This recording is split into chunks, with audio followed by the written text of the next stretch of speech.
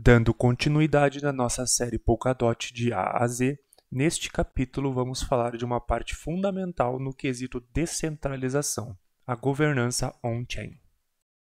Para iniciar este assunto, vamos salientar que a Kusama já está operando a Gov 2.0 e o processo de implementação desta atualização na Polkadot está em andamento. A governança on-chain é uma forma dos detentores de tokens, DOT e KSM terem sua participação nas decisões da rede. A Polkadot foi projetada para ser forkless, ou seja, que possa ser atualizada sem a necessidade da realização de um hard fork.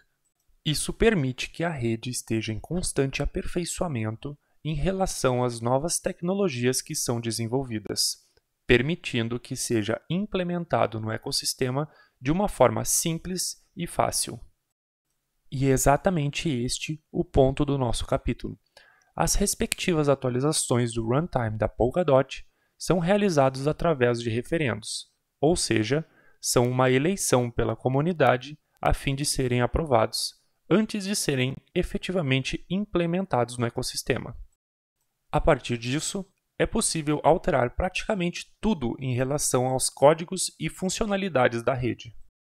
O processo na Gov2 se resume em três etapas: a proposta, a qual é apresentada a ideia ou solicitação a ser implementada e discutida pela comunidade, a votação, que é a parte-chave de todo o processo, e o período de promulgação, que é quando será efetivamente implementado.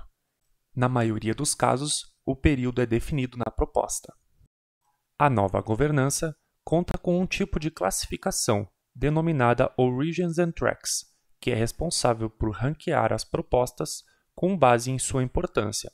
Por exemplo, uma proposta de modificação do runtime vai necessitar maior participação do que uma proposta para financiar um conteúdo.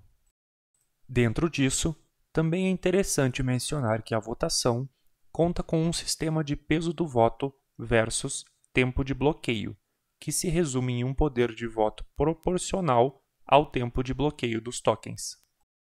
Sendo assim, é notável que a Polkadot é realmente desenvolvida em prol de uma total descentralização, com o poder de mudar a rede nas mãos da sua comunidade. E assim encerramos mais este capítulo da nossa série Polkadot de A a Z. Muito obrigado pela sua audiência.